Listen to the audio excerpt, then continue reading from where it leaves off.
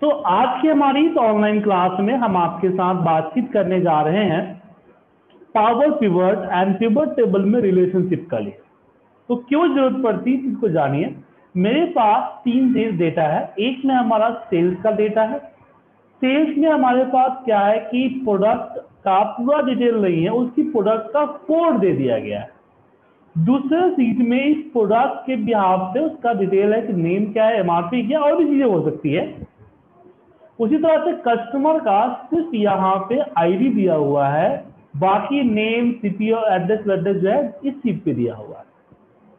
अब मुझे ये पता करना है कि किस कस्टमर किस किस कस्टमर ने कौन ने कौन सा प्रोडक्ट किस सिटी में कितना क्वांटिटी परचेज किया है। समझ आया? तो इसके लिए मुझे, अगर मैं नॉर्मल पीबर्ड के थ्रू चलूँ तो फिर मुझे यहाँ पे नेम और वी लुकअप वगैरह लगाना पड़ेगा।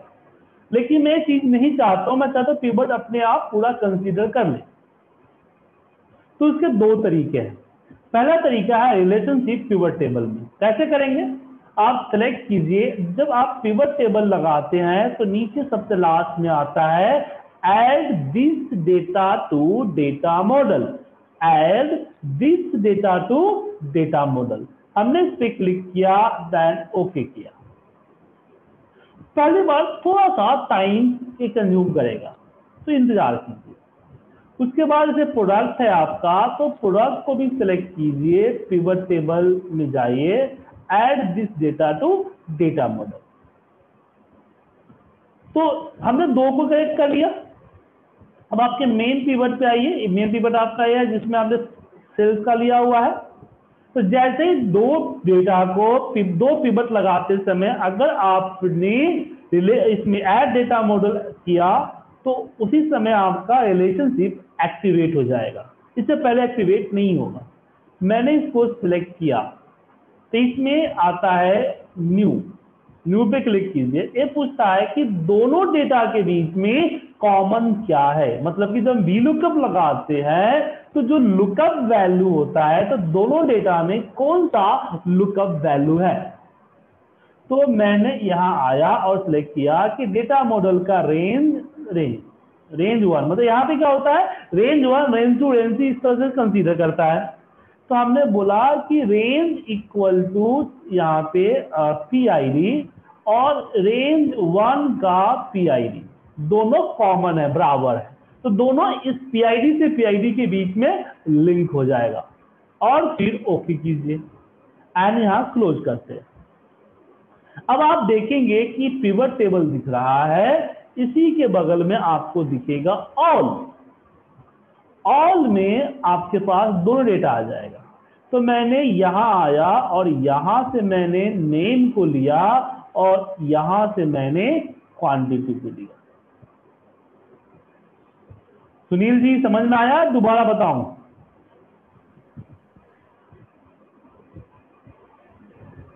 आ रहा है सर समझ में आ रहा है।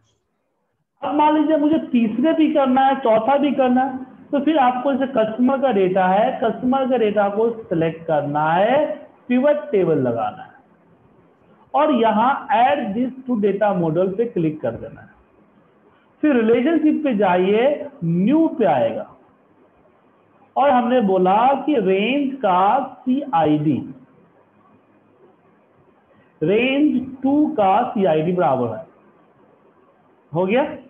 अब जब मैंने पिबत लगाया था तो उसमें हम अपना ऑल पे आते हैं। हाँ ऑल पे यहाँ जो हमारा कस्टमर का सिटी है उसको हम कॉलम में दे देते हैं। नेम तो इसके नीचे रख देते हैं। समझे? हेलो इस तरह से इस्तेमाल कर सकते हैं। हाँ जी हाँ जी सर समझ गए वो रेंज में ऐड होते रहेगा ना। जी हाँ जी हाँ। फिर बाद में जो पिवट आपने लगाया हुआ है फालतू का वो डिलीट भी कर सकते हैं कोई दिक्कत नहीं है। डिलीट करने से कोई फ़र्क नहीं पड़ेगा। देखिए। मगर सर जैसे हमें मल्टीपल सीट पे एक बार तो लगाना पड़ेगा प्राइवेट रिलेशनशिप बनाने के लिए। जी हाँ फ़िलहाल लगाना पड़ेगा लेकिन अगला स्टेप जो है उसमें लगाने की ज़रूरत नहीं है ठीक है?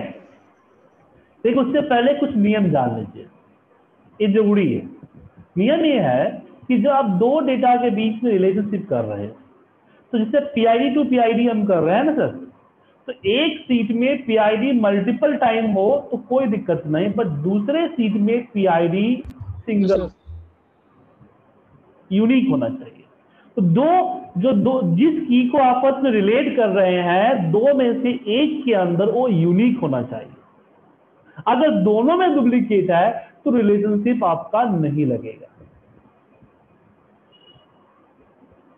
समझ में आ गया sir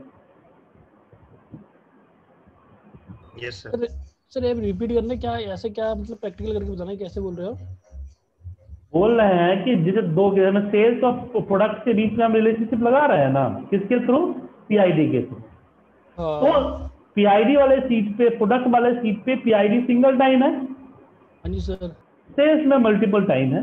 तो दोनों में से कोई जिस जो की आप लगा रहे हो दोनों में से कोई एक यूनिक होना चाहिए सर जैसे यहाँ भी मान लीजिए कि अगर आईडी अगर डुप्लीकेट होता तो नहीं लगता अच्छा अच्छा अच्छा अच्छा।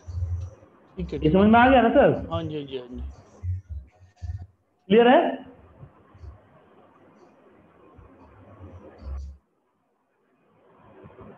इसमें कोई डाउट तो नहीं सर? No sir. चलिए आगे बढ़े। Yes sir.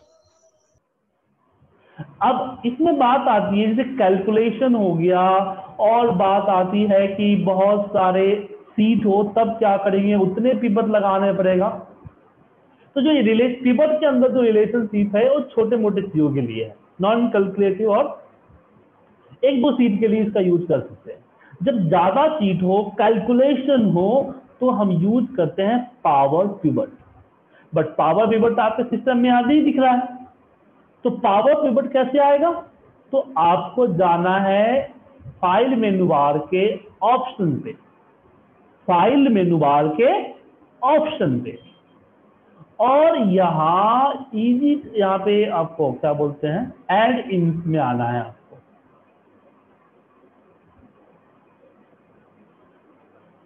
और एड इन में आने के बाद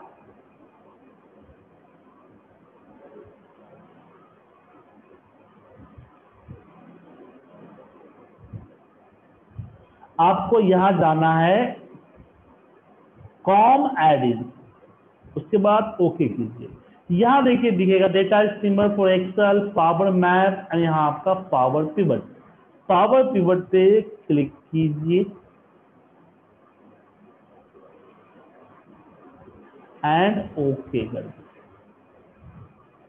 आ गया पावर पिवट समझे? और फिर पावर पिवट वाले टैब में आइए मैनेज पे क्लिक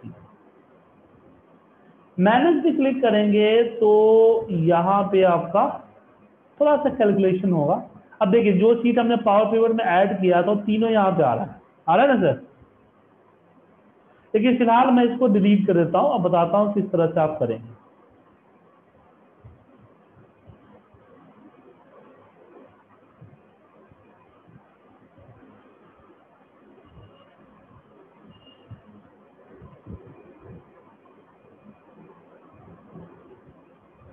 तो इस तरह का दिखेगा आपका विंडो ये विंडो दिखेगा इस तरह का।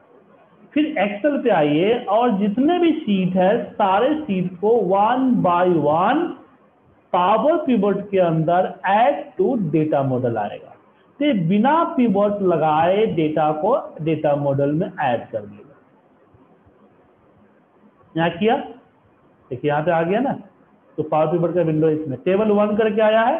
इसको टेबल वन के जगह पे आप दे दीजिए नेम चेंज कर सकते हैं ताकि आपको समझने में आसानी हो। सेल यहाँ कुछ भी करेंगे, आपका एक्चुअल डेटा एक्सेप्ट नहीं होगा। एक्चुअल डेटा जो है वही रहेगा। उसके बाद हम प्रोडक्ट पे आते हैं। प्रोडक्ट को सिलेक्ट किया। डेवलपर में पावर पिवट में गए। ऐड टू डेटा मॉडल और इसका हम जो है दे देते हैं product. ऐसे वन बाय वन अगर तीन सीट है, चार सीट है, पाँच सीट है, दस सीट है, उसको इस तरह से आप ऐड कर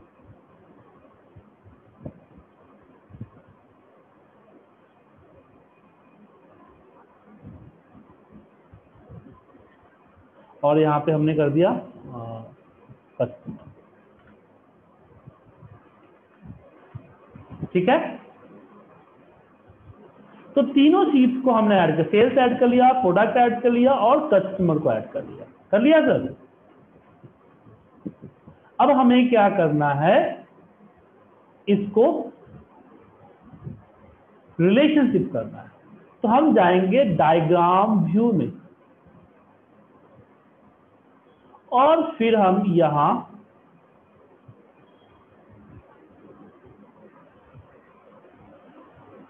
यहाँ प्रोडक्ट को उठाया और पीआईडी के ऊपर डाल दिया। डाल दिया सर। और फिर यहाँ हमने सीआईडी को उठाया और हमने उठा के डाल दिया सीआईडी को। तो यहाँ पर रिलेशनशिप करना थोड़ा सा आसान हो जाता है। अगर आठ दस टेबल है तो इजीली आप रिलेशनशिप कर सकते हैं। समझ गए sir? Hello yes sir sir yes sir अब इसको हम यहाँ से वापस आते हैं डेटा व्यू में। अब बात करते हैं कैलकुलेट की क्योंकि तो प्रोडक्ट में हमारा एमआरपी है। तो मैं चाहता हूँ यहाँ पे एमआरपी आ जाए। तो मैंने यहाँ एक कॉलम पे नेम पे एम आर पी लिख के एंटर मार दिया। अब मैं चाहता हूँ कि इस प्रोडक्ट कोड के बिहाफ पे इसके सारे एम आर पी यहाँ पे लुकअप हो जाए। तो यहाँ पे हमने फॉर्मूला लगाया रिलेटेड का। रिलेटेड फॉर्मूले में हमने बोला कि प्रोडक्ट की एमआरपी हमारे पास प्रोडक्ट की एमआरपी आ गई। आ गया सर फिर मुझे चाहिए यहाँ अमाउंट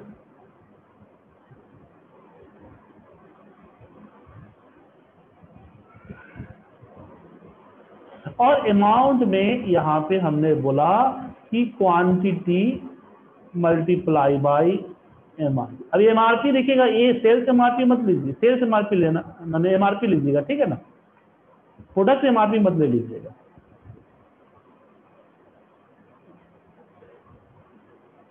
आ गया। मुझे इसे मान लीजिए कमीशन जीएसटी है अठारह परसेंट जीएसटी कैलकुलेट करना है।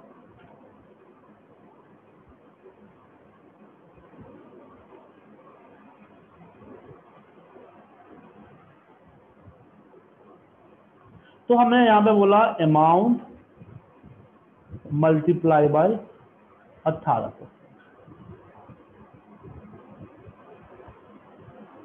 अब यहाँ पे परसेंट का सिंबल नहीं लेता है। तो ज़ीरो पॉइंट वन एट कर दीजिए।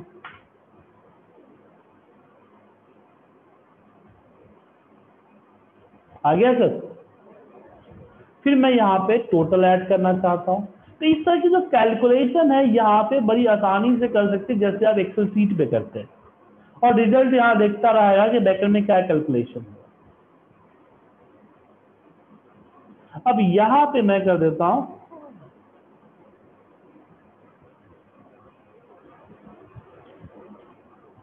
सम और सम में सम नहीं, माफ़ कीजिए सम फॉर्मूला नहीं लगाना इसमें हाँ।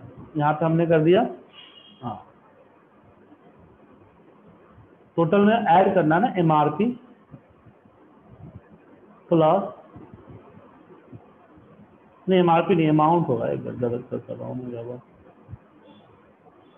amount plus GST plus plus हाँ। इसमें वर्कशीट फॉर्मूले वगैरह, जैसे राउंड का बी लुकअप बहुत सारे फॉर्मूले इसमें आप लगा सकते हैं। तो यहाँ पे बहुत सारे फॉर्मूले आपको दिखेंगे लगाने के समझे सर? बहुत सारे फ़ंक्शन इसमें इस्तेमाल आप कर सकते हैं। एफ़ एक्स पे क्लिक करेंगे तो आपको यहाँ पे ये सारे फ़ंक्शन लिस्ट दिख रहा है जो कि आप अप्लाई कर सकते हैं।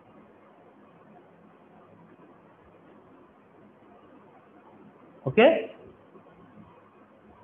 उसके बाद एट द लास्ट जब फाइनल आपका हो जाए तो पिबट टेबल पे क्लिक कीजिए एंड न्यू वर्कशीट पे आपका पिबट टेबल यहाँ लग गया। आप इसको बड़ी आसानी से आप इसको आ, कर सकते हैं कि अमाउंट जीएसटी टोटल और हमने दिया प्रोडक्ट वाइज और हमने यहाँ इस पे स्लाइसर भी इंसर्ट कर सकते हो स्लाइसर स्लाइसर में मुझे चाहिए इसका। ऑल पे आता हाँ ऑल पे सिटी चाहिए नेम चाहिए प्रोडक्ट नेम चाहिए है ना अब इसके ऊपर, अब तीन स्लाइसर्स है डिफरेंट डिफरेंट चीज़ का, वो इस्तेमाल कर सकते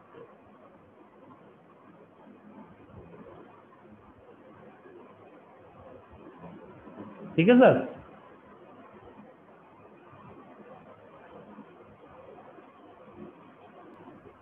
ठीक है सर। आया समझ सर सॉरी सुनील जी इसमें कोई डाउट है आपको? हाँ सुरेंद्र जी आपको ही बोल रहा हूँ। सर कोई डाउट इसमें? सर है तो ठीक एक बार करके देखना पड़ेगा ना कि अपने से हो रहा है नहीं हो रहा है क्योंकि ये बीच में मेरे को समझ हाँ नहीं आया हाँ जहाँ पे आपने प्रैक्टिकल करना पड़ेगा। पावर पॉइंट वाला किया था ना क्या पावर पॉइंट समझा नहीं? जहाँ पे आपने नया उसमें ऐड किया था उसके बाद। हाँ सिंपल से बताता हूँ सर सिंपल से दोबारा समझा दो सुनिए सबसे पहले आपको पावर कीबोर्ड का टैब लाना है। कैसे लाना है समझ में आ गया है? हाँ ऑप्शन में जाके ठीक है। ऑप्शन में जाके एडिंग पे जाके COM adding then power keyboard right ठीक है सर उसके बाद इसके मैनेज को खोलना है। हम्म। मैनेज खोलते ही आपको इस तरह का विंडो आ जाएगा। आ गया? ठीक है। उसके बाद आपको जितने भी डेटा है सारे डेटा को सेलेक्ट करना है और यहाँ ऐड टू डेटा मॉडल दिख रहा है। एक एक करके तीनों को ऐड टू डेटा मॉडल कर देना है। डेटा मॉडल ऐड करते ही जो आपका यहाँ पे मैनेज डेटा है ना पावर बीआई का उसमें तीनों डेटा ऐड हो जाएगा। ऐड हो गया sir Sunil ji? Yes sir yes sir यहाँ पे समझ में आ गया? यस सर सीट नेम अपने हिसाब से चेंज कर सकते हैं। अब बात आती है कि इसको आपस में रिलेट रिलेशनशिप कैसे करें रिलेट कैसे करें? तो होम टैब में ही यहाँ आपको देखिए मिलेगा डायग्राम व्यू दिख रहा है? यस सर डायग्राम व्यू में जाओगे तो जितने भी टेबल आपने ऐड किया है वो इस तरह से फॉर्मेट में आएगा जैसे एमएस एक्सेस में आता था। हाँ। उसके बाद आपको मेन डेटा को रखना है। मेन डेटा आपका ये है ना? हाँ जी सर। अब इस, इसका फ़ील्ड जैसे मान मान लीजिए जैसे सी आई डी है उठा के इसके सी आई डी पे ड्रॉप कर देना। इसका पी आई डी है उठा के इस पे ड्रॉप कर देना। और भी जो सीट्स होंगी उस पर आपको उठा के सिर्फ़ ड्रॉप करते जाना है। हम्म। और रिलेशन जो क्रिएट होगा तो यहाँ बताएगा कि ये दोनों इससे रिलेटेड है यहाँ से रिलेशन ये है। तो दिखाता है। यहाँ तक समझ में आ गया? यस सर उसके बाद आपको वापस डेटा व्यू में आना है। अब बात है कि अगर आपको जैसा डेटा वैसा चाहिए इसमें कोई कैलकुलेशन नहीं चाहिए तो फिर डायरेक्ट पिवट टेबल पे क्लिक कर दो अब बाहर आ जाएगा। लेकिन कुछ फ़ील्ड को कैलकुलेट करना है। तो अपने मेन डेटा पे आइए। अब मान लीजिए कि मुझे क्वांटिटी हमारे तक था मुझे एमआरपी लेके आना है। बात समझे? एमआरपी. मेरा प्रोडक्ट में जैसे मैं नॉर्मल एक्सेल सीट पे वी लुकअप से लेके आता ऐसे मुझे यहाँ लेके आना है। तो. एक्सेल पे वी लुकअप होता है यहाँ होता है रिलेटेड रिलेटेड में आपको जस्ट उसका फ़ील्ड को सेलेक्ट कर लेना है। उसका। तो उसकी पूरी डेटा आ जाएगी। उसके बाद आप मल्टीप्लाई वगैरह डिवाइड वगैरह जो जैसे करते हो जैसे कर सकते हो। जब आपकी कैलकुलेशन फाइनल हो जाए देन अगेन पिवट टेबल पे क्लिक कीजिए ये आपका बाहर आ जाएगा। एक नई सीट पे पिवट लगा देगा। उसके बाद तीनों शीट है इसके बाद पिवट कैसे लगाना है ये तो आपको आता ही है। ठीक है ठीक। क्या सुनील जी आप समझ में आया? हाँ हाँ। तो इसकी प्रैक्टिस कीजिए ठीक है? तो हमने अभी पिछले जो है पाँच छः क्लासेस में छः छः या सात क्लासेस में पिवट टेबल को अच्छे तरीके से सीखा और पिवट टेबल हमारा कंप्लीट हो गया। अब हम हमारा जो होम मेनू बार हमारा जो मेनू बार उसमें आते हैं।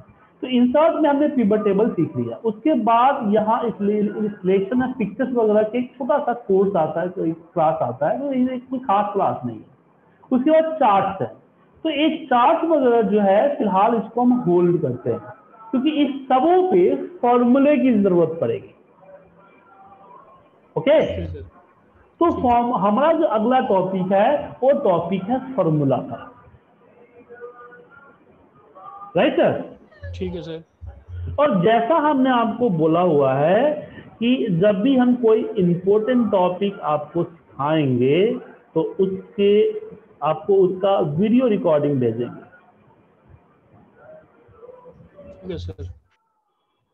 ना सर?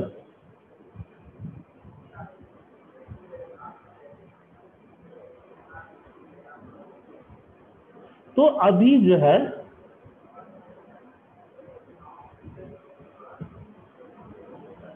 आपको हम एक दो, डेढ़ दो घंटे का हम वीडियो आपको भेज रहे हैं।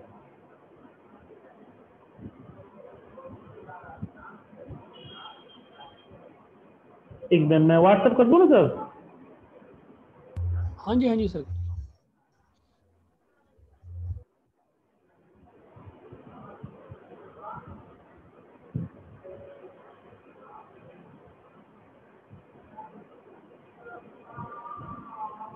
जी हाँ दो घंटे का एक वीडियो है जिसमें मैंने फॉर्मूला समझाया हुआ है। ये वीडियो मैं सुनील जी आपको फॉरवर्ड कर दिया हूँ। और सुरेंद्र जी, मैं आपको भी कर देता हूँ, आप नाराज़ मत होइए।